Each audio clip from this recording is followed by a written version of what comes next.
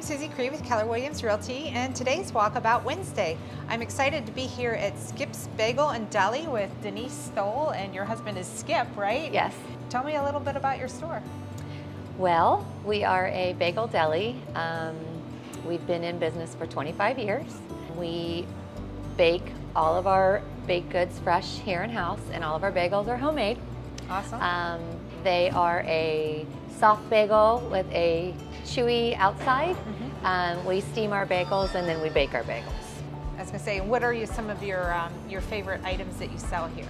Well, we have a great breakfast. Um, I have just a bacon, egg, and cheese, get an egg and cheese.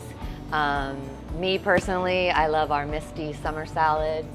Um, What's in that? that is a grilled chicken salad uh, with like craisins, feta cheese, cucumbers, onions, balsamic vinaigrette dressing. Very that good. That sounds amazing. And do you guys offer any catering or anything like that? Oh yes, yes. Um, love to offer catering. okay, so so as far as your catering goes, um, how how many people can you accommodate?